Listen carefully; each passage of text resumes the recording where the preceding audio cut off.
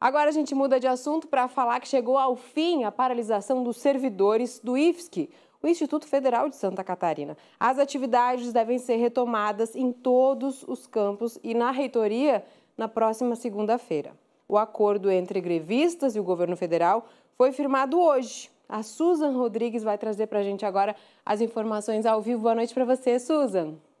Retornam todos os servidores na próxima segunda-feira, viu, Sibeli? Uma boa noite para você e para quem nos acompanha. Mas o retorno das aulas, de acordo com o que foi publicado pelo Instituto Federal de Santa Catarina, deve ser definido, então, pela gestão de cada campus. Aqui na capital, a definição foi que as aulas retornam no dia 3, na próxima quarta-feira. Isso, de acordo com o colegiado do campus de Florianópolis, foi decidido por conta da organização dos estudantes em relação ao retorno das atividades. Já os ajustes no calendário acadêmico, esses devem ser feitos, então, pelo Conselho Superior do já tem uma reunião agendada para o dia 8 de julho e vale lembrar que o IFSC então suspendeu o calendário acadêmico e por isso essas definições devem ser feitas então dia 8. Foram assinados no dia de hoje os termos de acordo de reposição de atividades no Instituto. Essa reunião foi iniciada ontem e terminou hoje ao meio-dia com a decisão, então, do fim da greve no Instituto Federal de Santa Catarina. Essa greve, que iniciou nacionalmente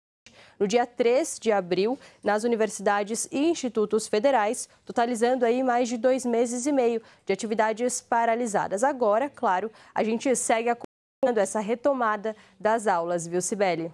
Obrigada, viu, Susan? Informações.